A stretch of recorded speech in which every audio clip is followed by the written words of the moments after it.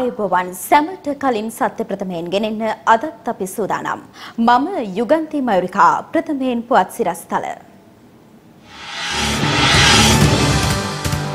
ජනපති ජාතියාමතයි ජනතාවට සහන මෙරට කොරෝනා රෝගීන්ගේ සංඛ්‍යාව හතලිස් තුන දක්වා ඉහළයයි.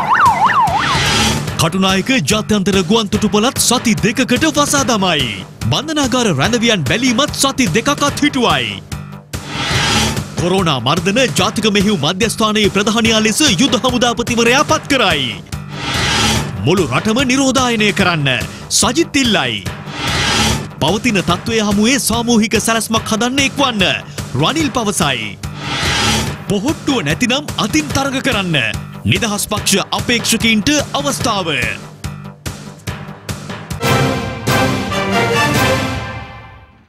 දැන් දේශීය පුවත්. ජනාධිපති ගෝඨාභය රාජපක්ෂ මහතා අද රාත්‍රියේ ජාතිය අමතනු ලැබුවා. එහිදී රටේ පවතින වත්මන් තත්ත්වය පිළිබඳව ජනාධිපතිවරයා මෙලෙස අදහස් පළ කළා. හෙට සිට නැවත දන්වන තුරු සියලුම සංචාරකයන්ගේ පැමිණීම අපි නවතා දමනු ලබනවා.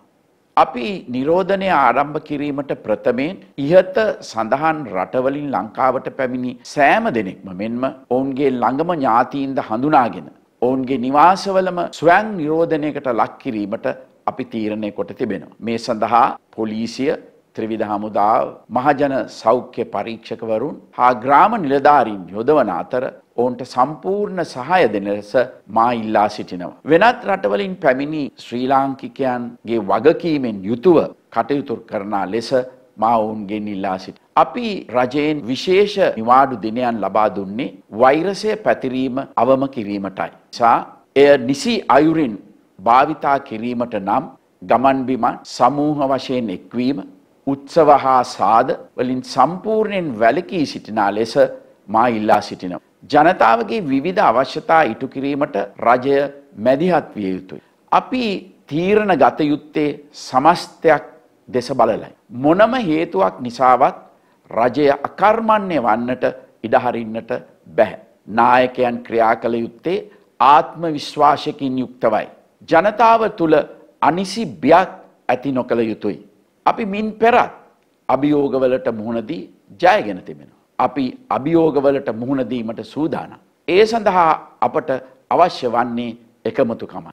සෑම වෙළඳ සලකම අද රාත්‍රියයේ සිට පරිප්පු කිලෝවක් රුපියල් හැට පහක උපරිම සිල්ලර මිලකට විකිනීමට මා නියෝග කොට තිබෙනවා.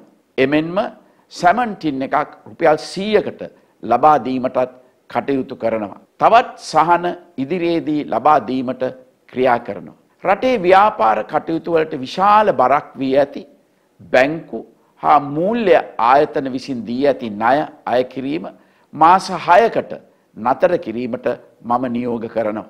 එලෙසම බැංකු විසින් සපයන කාරක ප්‍රාග්ධනය 104ක පොලියකට ලබා දීමට කටයුතු කරනවා. ඔබ මා කෙරෙහි තිබූ විශ්වාසය කිසිදු අයුරකින් paludu නොකරන බවට මා ඔබට සාතික වනවා. ඔබෙත් මගේත් රට අද සුරක්ෂිතයි. COVID-19 ආසාදිත සංඛ්‍යාව 43 දක්වා ඉහළ ගොස් තිබෙනවා. ඒ අනුව අද දිනය තුල පමණක් වාර්තා වූ නව රෝගීන් සංඛ්‍යාව 15ක්. මේ අතර කොරෝනා හෙවත් COVID-19 වෛරසය රට තුල ව්‍යාප්ත වීම නතර කිරීම සඳහා හෙට මධ්‍යම රාත්‍රියේ සිට ක්‍රියාත්මක වන පරිදි මෙරටට ගුවන් යානා පැමිණීම සති දෙකකට නතර කිරීමට ජනාධිපති ගෝඨාභය රාජපක්ෂ මහතා තීරණය කර තිබෙනවා.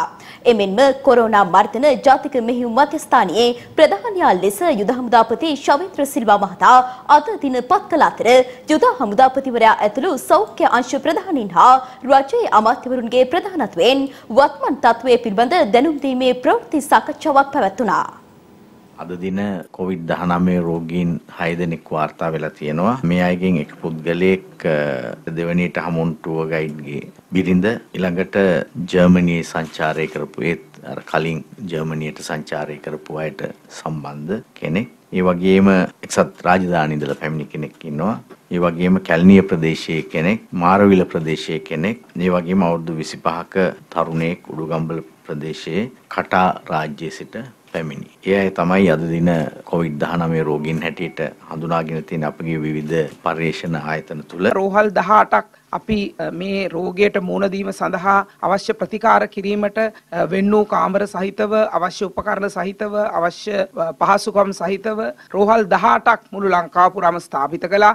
එහි තවත් රෝහලක් විදිහට තමයි අපි වැලිකන්ද රෝහල ස්ථාපිත වෙන්නේ. නැවත වතාවක් අපි කියනවා අපි දන්න දත්යන් වලට අනුව 1500ක් දෙදාහක් අතර සංඛ්‍යාවක් පළවෙනිදා සිට නවවෙනිදා දක්වා ලංකාවට ඇවිල්ලා නිරෝධායනට ලක් නොවෙච්ච කට්ටිය මේ කියපු රටවල් වලින් ඇවිල්ලා විශාල වශයෙන් තාම ජීවත් වෙනු ලබනවා. මේ කට්ටියගෙමුත් 800ක සංඛ්‍යාවක් සිටින්නේ පුත්තලම් දිස්ත්‍රික්කයේ. විශේෂයෙන්ම මේ හැම එක්කෙනාගේම ඉල්ලන ගම් පුත්තලම් දිස්ත්‍රික්කයේ කට්ටියට ඉල්ලනවා විශේෂයෙන්ම සෞඛ්‍ය මාත්‍යාංශයෙන් දීලා තියෙන උපදෙස් අනුව ක්‍රියා කරන්න. එසේ අය ක්‍රියා නොකරොත් ඒ ප්‍රදේශය වෙනුවෙන් ගත යුතු ක්‍රියාමාර්ගයක් වුණත් ගන්න තත්වයකට ඇති වෙන්න පුළුවන්. ඊයේ නිවේදනයක් නිකුත් කරමින් සඳහන් කළා මාර්තු පළවෙනිදත් මාර්තු 15ත් අතර ශ්‍රී ලංකාවට පැමිණ සිටින ම රටවලින් පැමිණි අය ලියාපදිංචි වන ලෙසට. ඒ අනුව විශේෂයෙන්ම 119 මධ්‍යස්ථානයට හෝ ළඟමැති පොලිස් ස්ථානයට මේ ගැන දන්වලා ලියාපදිංචි වෙන්න කියලා දැනුම් දුන්නා. විශේෂයෙන්ම මේ අංක දෙක යම් ආකාරයක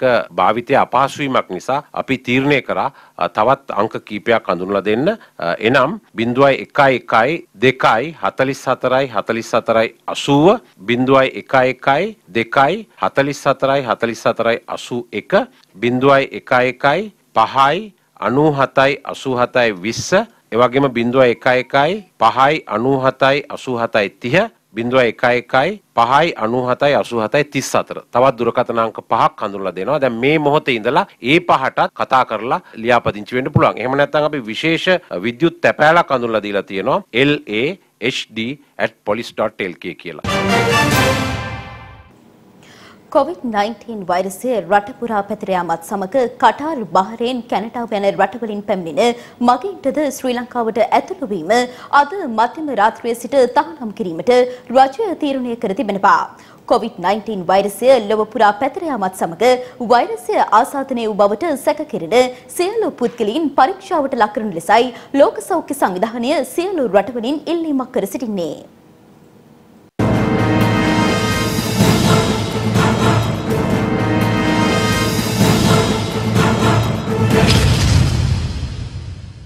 කොවිD-19 වෛරසය රටපුරා සීක්‍රයෙන් පැතිර යාමත් සමග අද දින සිට සති දෙකක කාලයක් ශ්‍රී ලංකාවට සියලුම ගුවන් යානා පැමිණීම අත්හිටුවීමට රජය තීරණය කර තිබෙනවා.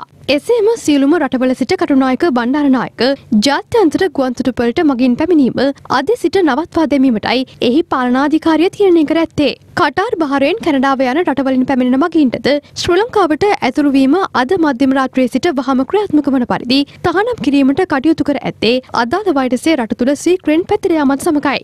මේ අතර පවතින තත්ත්වය හමුවේ වෛරසය ව්‍යාප්ත වී යාම පාලනය කිරීම සඳහා අත්‍යවශ්‍ය සේවා හැර දින තුනක නිවාඩුවක් අද දින සිට ප්‍රකාශයට පත් කිරීමට රජය තීරණය කළා. ඒ අනුව අද දින සිට එළමෙන බ්‍රහස්පතින්දා දිනය දක්වා මෙම නිවාඩුව බලපැවැත්වෙන අතර සෞඛ්‍ය ආහාර සැපයුම් ප්‍රවාහන අත්‍යවශ්‍ය සේවා බැංකෝ දිස්ත්‍රික් ලේකම් කාර්යාල ප්‍රාදේශීය ලේකම් කාර්යාල හැර රජයේ අනෙකුත් ආයතන දෙපාර්තමේන්තු සංස්ථා ඇතුළු ආයතන සඳහා මෙම විශේෂ දින තුනක නිවාඩුව වළංගුවනවා. එසේම වෛරසයේ ව්‍යාප්තිය පිළිබඳව අවධානය යොමු කරමින් තවදුරටත් මෙම නිවාඩුව දීර්ඝ කිරීම හෝ නොකිරීම පිළිබඳව සලකා බැලීමට නියමිතයි. රජය මගින් මෙලෙස දින තුනක නිවාඩුවක් ප්‍රකාශයට පත් කිරීමට අනුකූලව අද දින සිට ලබන 19 වනදා දක්වා දුම්රිය ගමන් පාර 83ක් අවලංගු කිරීමට දුම්රිය දෙපාර්තමේන්තුව කටයුතු කර තිබෙනවා.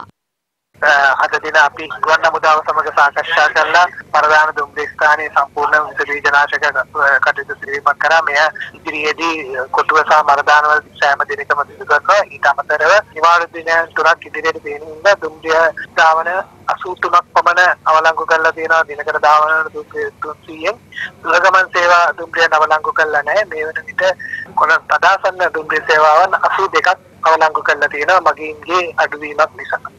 මේ අතර මගේ ජනතාවගේ ආරක්ෂාව උදෙසා බස් රථ නිරෝධායනය කිරීමේ කටයුතු අද පෙරවරුවේ විශේෂභාර අමාත්‍යවරයාගේ සහභාගීත්වයෙන් සිදු කෙරුණා.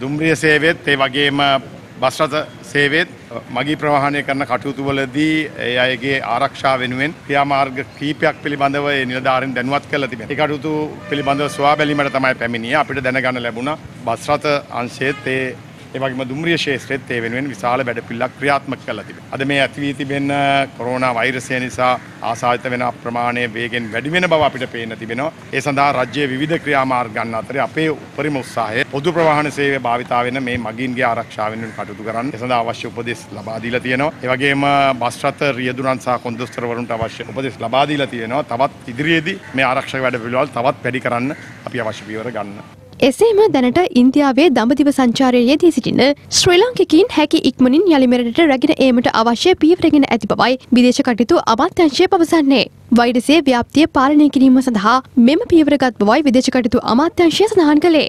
මේ අතර පවතින තත්ත්වය හමුවේ මාර්තු මස පළවනදාත් පහළොස් වනදාත් අතර කාලයේදී යම් පුද්ගලයෙකු යුරෝපය ඉරානය දකුණු කොරියාවේ සිට පැමිණියේ නම් ළඟම ඇති පොලිස්ථානයේ වහම ලියාපදිංචි වන ලෙස ආරක්ෂක අමාත්‍යංශය නිවේදනයක් නිකුත් කරමින් පවසනවා. ඒ අනුව පොලිස් මූලස්ථානයේ නිවේදනයක් නිකුත් කරමින් පවසන්නේ යම් තැනැත්තෙකු මාර්තු මස පළවනදාත් පහළොස් වනදාත් අතර යුරෝපය ඉරානය හෝ දකුණු කොරියාවේ සිට ශ්‍රී ලංකාවට පැමිණ ඇතනම් ඔවුන්ට එකයි එකයි නමේ මධ්‍යස්ථානයට හෝ ළඟම ඇති පොලිස්ථානයට ලියාපදිංචි වීමේ දී පොලිස්ථානයට පැමිණීමට අවශ්‍ය නොවන අතර පොලිස්ථානයට දුරකථන ඇමතුමක් ලබා දී හැකි බවයි. මේ අතර අද සිට සති දෙකක කාලයක් බන්ධනාගාර රැඳවියන් බැලීම සඳහා ඥාතීන් කිසිවෙකුටත් අවස්ථාව ලබා නොදීමට බන්ධනාගාර දෙපාර්තමේන්තුව තීරණය කර තිබෙනවා. විදේශයන්හි සිට පැමිණෙන පිරිස් නිරෝධායනය කිරීම සඳහා නව මධ්‍යස්ථානයක් ඊයේ දින වවුනියාව පොම්පේ මඩු පිහිටි විසි තුන්වන පාපල හමුදා අනුකණ්ඩ යුද හමුදා කදවරේදී ස්ථාපිත කෙරුණා.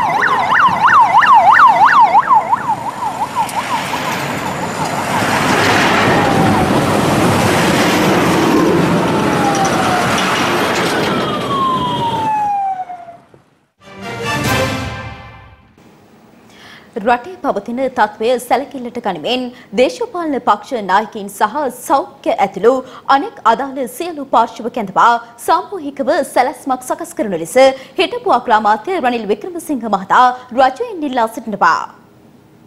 මේ අවස්ථාවේ අප ඉදිරියේ තිබෙන විශාලම අභියෝගය කොරෝනා වෛරසයට මුහුණ දීමයි. එය මැඩ පැවැත්වීම සඳහාත් ව්‍යාප්තිය අවම කර ගැනීම සඳහාත් කටයුතු කිරීමයි. මෙය ජාතික ආපදා තත්ත්වයක්. මෙහි බරපතලකම බොහෝ අයට තවමත් තේරුම් ගොස් නැති බව අපට පෙනෙනවා. එය කනගාටුවට කරුණක්. දැන් මේ වසංගතය ශ්‍රී ලංකාවට බෝ වෙලා. ඉන් ගැලවීමක් නැහැ. නමුත් අවම හානියක් සිදුවන ආකාරයට මේ වසංගතය පාලනය කර ගැනීමට අප එකට එක් වී කටයුතු කළ යුතුයි. මේ සඳහා පොදු සැලැස්මක් සකස් කොට සාමූහිකව ක්‍රියාත්මක කරලීමට අවශ්‍ය පදනම ඇති කරන්නයි කියා මම පසුගියදා ආණ්ඩුවෙන් ඉල්ලීමක් කරා. මේ වසංගත තත්ත්වය ගැන අවධානය යොමු කරන්න කියා මැතිවරණ කොමිසමේ සභාපතිතුමාගෙන්ද මම ඉල්ලීමක් කරා. ඒ වගේම දේශපාලන පක්ෂ හා සමාජ ආයතන ප්‍රධානීන් කැඳවා හදිසි සාකච්ඡාවක් පවත්වන මෙන් කතානායකතුමාත් මමත් අගමැතිතුමාගෙන් ඉල්ලීමක් කර තිබෙනවා. ඒ වගේම තම තමන්ගේ ආරක්ෂාව පිළිබඳ සැලකිලිමත්ව ලෙසත් සෞඛ්‍ය ආරක්ෂිත පියවර අනුගමනය කරන ලෙසත් මම යළිත් ඔබ සැමටම සිහිපත් කරනවා. අප සැමෝම එක්ව මේ අභියෝගය ජයගමු. ස්තුතියි. රටේ ජනතාවගේ සෞඛ්‍ය ආරක්ෂාව පිළිබඳව සිතා මුළු රටම නිරෝධායන ක්‍රියාවලියකට ලක් කළ යුතු බව සමගී ජනබලවේගයේ නායක සජිත් ප්‍රේමදාස මහතා පවසනවා. ඒ මහතා මේ බව ප්‍රකාශ කළේ අද කොළඹ පැවති ප්‍රවෘත්ති සාකච්ඡාවකට එක්වෙමින්. ඉතාලිය, චීනය, ඩෙන්මාර්කය, නෝර්වේ වගේ රටවල් සම්පූර්ණයෙන්ම ලොක්ඩවුන් කරලා, ෂට්ඩවුන් කරලා. මෙහි මොකක්ද වෙන්නේ? තුනෙන් දෙක හොයන. අනිත් රටවල් තමන්ගේ ජනතාව ආරක්ෂා කරන්නට ලොක්ඩවුන් ෂට්ඩවුන්. ලෝකයේම දසදහස් ගණනින් ගුවන් ගමන් නතර කළා තිබෙනවා. විශේෂයෙන්ම කොරෝනා වෛරසයට එරෙහිව කටයුතු කරන්නට ඊශ්‍රායලයේ ආණ්ඩු පක්ෂයත් විපක්ෂයත් වැඩ කටයුතු කරමින් සිටිනවා. අපේ රටේ මොකද්ද වෙලා තියෙන්නේ? කොච්චර කිව්වත් පාර්ලිමේන්තුව රැස් කරන්නයි කියලා කොච්චර කිව්වත් සියලුම දේශපාලන පක්ෂ සිවිල් සංවිධාන නායක කාරකාදීන් ගෙන්නලා සාකච්ඡා කරන්නයි කියලා මේ වෙනතෙක් ඒ දේ සිදු වෙලා මේ කොරෝනා වෛරසය නිසා රටට සිදු වෙලා තිබෙන මහා ආපදාව ගැන මේ මහා වින්නහිය ගැන රජයට ලොකු වගකීමක් තිබෙනවා ජනතාව දැනුවත් කරලා රටම එකතු කරලා හොඳ ක්‍රියාමාර්ගයක් ගන්න. මුළු රටම නිරෝධායනය කළ යුතුයි. මුළු රට තුලම ඒ විස බීජ නාශක ක්‍රියාවලිය වහවහ ක්‍රියාත්මක කළ යුතුයි. අනිකුත් රටවල් වල අපි දැක්කා කොඩියට පටන් අරගෙන මොනවද සිදු වෙලා තියෙන්නේ කියලා. අපේ ප්‍රාර්ථනාව වගේ ප්‍රාර්ථනාව එවන් දෙයක් අපේ රටේ සිදු නොවේවා කියලා. නමුත් ප්‍රාර්ථනා කර කර ඉඳලා හරියන්නේ නැහැ. ඒව වළක්වන්නට ක්‍රියාමාර්ග ගන්නට, වැඩපිළිවෙළ ක්‍රියාත්මක කරන්නට. මේ වගේ තත්ත්වයක් තුළ රජයට අපි කියන්න කැමති ජනතාවගේ ජීවිතත් එක්ක සෙල්ලම් කරන්න එපා. ශ්‍රී ලංකා නිදහස් පක්ෂය දිස්ත්‍රික්ක දෙකකට හැර අනෙක් සියලු දිස්ත්‍රික්ක සඳහා තනිව තරඟ කිරීමට තීරණය කර තිබෙනවා. එහිදී නිදහස් පොදුජන සඳහන යටතේ තරඟ වැදීමට නොහැකි ශ්‍රී ලංකා නිදහස් පක්ෂයේ අපේක්ෂකයින් හට එම පක්ෂයේ අත ලකුණින් තරඟ කිරීමට අවස්ථාව හිමි වනවා.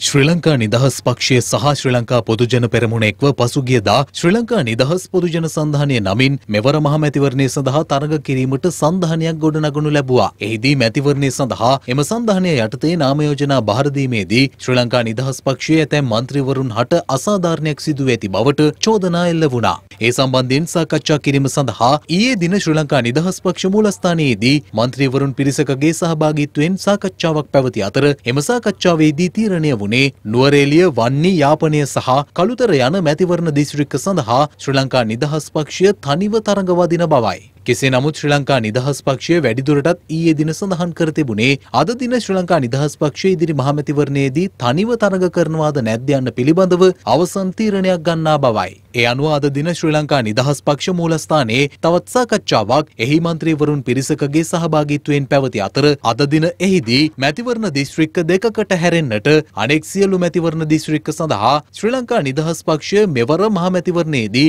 තනිව තරඟ කරන බව හිටපු පාර්ලිමේන්තු මන්ත්‍රී ජීවන් කුමාරතුංග මහතා ප්‍රකාශ කළා. ඒ වගේම දැන් ඔබතුමා කිව්වා දැන් ඊයේ දිනේ කිව්වා දිස්ත්‍රික්ක හතරක් වෙනම තරඟ කරන්න තීරණය කරනවා. ඒ දිස්ත්‍රික්ක හතරට අමතරව ඔබතුමා තීරණය කරන් තියෙනවා තව ඔව් ඒක දැන් ඒ දිස්ත්‍රික්කයේ අයගේ සියලු දෙනා දැන් මේ වෙනකොට නාම යෝජනා දීපු අයත් යම් යම් දිස්ත්‍රික්වල ඒ වලින් ඉවත් වෙන්න දැන් තීන්දුව කරලා අවශ්‍ය කටයුතු කරමින් පවතිනවා. මම හිතන්නේ අපි දිස්ත්‍රික්ක දෙකක් හැරුණකොට අනෙක් සියලු දිස්ත්‍රික්වල අපි ශ්‍රී ලංකා නිදහස් පක්ෂයෙන් අත ලකුණින් තරග කරනවා. කියන්නේ දැන් වෙනම ඉල්ලනවද මොකද ස්ථිරයිද ස්ථිරයිද දැනට ස්ථීරයි නායකයෝ කෙලින් හිටියොත් කිසිසේත් ප්‍රශ්නයක් නැහැ ස්ථීරයි මම විශ්වාස කරනවා අපේ නායකත්වය අපිට නායකත්වය දෙයි කියලා ඕම් පැහැදිලිව කියන්න ඕනේ මෙය කිසිම වෙලාවක එක්සත් ජාතික පක්ෂයට කත් අදින ව්‍යාපාරයක් නෙවෙයි. මේක ශ්‍රී ලංකා නිදහස් පක්ෂ විදියට ගොඩාබේ රාජපක්ෂ මැතිතුමාව ජයග්‍රහණය කරන්න අපි වැඩ කරා. ඒ ජයග්‍රහණය කරන්න වැඩ කරපු උතුංග කාරණා ටික ඉදිරියට ගෙන යන්න ඕන. ඉතින් එතුමාව ශක්තිමත් කරොත් පමණයි මේ ක්‍රියාදාම ඉස්සරහට ගෙනියන්න පුළුවන් වෙන්නේ නැත්නම් අපි ප්‍රාර්ථනා කරපු 2019 ජනාධිපතිතුමා තව අවුරුද්දක් දෙකක් යනකොට විශාල හිරකාරයෙක් බවට පත් වෙන තියෙන ඉඩකඩ වැඩි. ඉතින් නිසා අපි ඒක කරන්න ඉඩ තියන්නේ නැහැ. ඒ අනුව පොජන පෙරමුණත් ශ්‍රී ලංකා නිදහස් පක්ෂයත් අතර තියෙන සම්බන්ධතාවයේ ගිවිසුම අපි අත්සන් කරලා ඒ විදිහටම අපි ක්‍රියාත්මක කරනවා. ඒකේ කිසි බාධාවක් නැහැ. ඒ අයට ඉල්ලන්න පුළුවන්. එහෙම නැති දිස්ත්‍රික්කවල දැන්ටමත් නාම යෝජනා බාර දීලා තියෙනවා නුවර වගේ දිස්ත්‍රික්කවල මම හිතන්නේ ඒ වගේ අපි ප්‍රශ්නයක් කරගත යුතු නැහැ. ඒ අය එකට එකතු වෙලා ඉල්ලපු දෙන් ඒකෙන් කිසි ගැටලුවක් වෙන්නේ නැහැ. උන් ශ්‍රී ලංකා නිදහස් පාක්ෂික අනිදිරත් වැඩ කරනවා. ඒ වගේම උන් ගෝඨාභය රාජපක්ෂ මැතිතුමත් ආණ්ඩුවත් ආරක්ෂා කිරීම සඳහා එකට කටයුතු කරනවා. ඉදිරි මහමැතිවරණය සඳහා නාම යෝජනා බාරදීම අද පෙරපරුවේ සිදු කෙරුණා. ශ්‍රී ලංකා පොදුජන පෙරමුණේ සහ ජනතා විමුක්ති පෙරමුණේ දිස්ත්‍රික් නායකින් විසින් අදාළ නාම යෝජනාව බාරදීම සිදු කළා. හම්බන්තොට දිස්ත්‍රික්කෙන් පොදුජන පෙරමුණ යටතේ ඉදිරි මහමැතිවරණය සඳහා ඉදිරිපත් වීමට දිස්ත්‍රික් නායකයා ලෙස අමාත්‍ය චමල් රාජපක්ෂ මහතා සමස්ත කණ්ඩායමට අදාළ නාම යෝජනා බාර දීම අද හම්බන්තොට දිස්ත්‍රික් ලේකම් කාර්යාලයේදී සිදු කරනු ලැබුවා. ඉදිරි පාර්ලිමේන්තු මැතිවරණයට ශ්‍රී ලංකා පොදුජන පෙරමුණ යටතේ තරඟ කිරීම සඳහා කළුතර දිස්ත්‍රික් කණ්ඩායම අද දින සිය නාම යෝජනා බාර දුන්නා. ඒ ශ්‍රී ලංකා පොදුජන පෙරමුණේ කළුතර දිස්ත්‍රික් නායක රෝහිත අබේගුණවර්ධන මහතාගේ ප්‍රධානත්වයෙන් එමෙන්ම මහනුවර දිස්ත්‍රික්කෙන් තරඟ කරන ශ්‍රී ලංකා පොදුජන පෙරමුණේ නියෝජිතයින් හිටපු රාජ්‍ය අමාත්‍ය මහින්දානන්ද අලුත්කමගේ මහතාගේ ප්‍රධානත්වයෙන් සිය නාම යෝජනා බාර දීම මහනුවර දිස්ත්‍රික් ලේකම් කාර්යාලයේදී සිදු කරනු ලැබුවා. මේ අතර ජාතික ජනබලවේගය යටතේ තරඟ කිරීම සඳහා ජනතා විමුක්ති පෙරමුණේ දේශපාලන මණ්ඩල සභික කේ.ඩී. ලාල්කාන්ත මහතාගේ ප්‍රධානත්වයෙන් මහනුවර දිස්ත්‍රික් කණ්ඩායම නාම යෝජනා බාර දීම සිදු කරනු ලැබුවා. ශ්‍රී ලංකා පොදුජන පෙරමුණේ කෑගල්ල දිස්ත්‍රික් නායකයා ලෙස හිටපු රාජ්‍ය අමාත්‍ය කනක හේරත් මහතාගේ ප්‍රධානත්වයෙන් කෑගල්ල දිස්ත්‍රික් කණ්ඩායම නාම යෝජනා බාර දුන්නා. මේ අතර මාතලේ දිස්ත්‍රික්කය වෙනුවෙන් ශ්‍රී ලංකා පොදු ජන පෙරමුණ අද නාම යෝජනා බාර දුන්නා. ඒ හිටපු රාජ්‍ය අමාත්‍ය ජනක බණ්ඩාර දෙන්නකොන් මහතාගේ ප්‍රධානත්වයෙන්. මේ අතර ශ්‍රී ලංකා පොදු ජන පෙරමුණේ රත්නපුර දිස්ත්‍රික් නායක හිටපු රාජ්‍ය අමාත්‍ය වාසුදේව නානායකාර මහතා ඇතුළු පිරිස අද නාම යෝජනා බාර දුන්නා. ඒ ශ්‍රී ලංකා පොදු ජන පෙරමුණ යටතේ රත්නපුර දිස්ත්‍රික්කෙන් තරඟ කිරීම සඳහායි. මේ අතර ජාතික ජනබලවේගය යටතේ කුරුණෑගල දිස්ත්‍රික්කෙන් තරඟ වැදීම සඳහා නාමල් කරුණාරත්න මහතා දිස්ත්‍රික් නායකයා ලෙස නාම යෝජනා බාර දීම අද දින සිදු කරනු ලැබුවා. ත්‍රිකුණාමලේ දිස්ත්‍රික්කෙන් ශ්‍රී ලංකා පොදු ජන පෙරමුණ යටතේ ඉදිරි මහමැතිවරණයට ඉදිරිපත් වීම සඳහා දිස්ත්‍රික් නායකයා ලෙස සුසන්ත පුංචිනිලමේ මහතා අද නාම යෝජනා බාර දුන්නා. ගාල්ල දිස්ත්‍රික්කයේ සඳහා ශ්‍රී ලංකා පොදු ජන පෙරමුණ යටතේ තරඟ කිරීමට එහි කණ්ඩායම් නායක අමාත්‍ය රමේෂ් පතිරණ මහතා ප්‍රමුඛ නියෝජිතයින් ගාල්ල දිස්ත්‍රික් ලේකම් කාර්යාලයේදී නාම යෝජනා බාර දුන්නා. එත් සමගින් අපගේ රාත්‍රී ප්‍රවෘත්ති විකාශය මින් නිමාවට පත්වනවා. තව සුණුසුම් කරන තවත් පුවත් දැනගන්නෙක් වන්න www.siethanews.lk අපගේ වෙබ් පිටුවට. යලිත් යමු හෙට උදැස්සන 6ට. සුබ රාත්‍රියක්.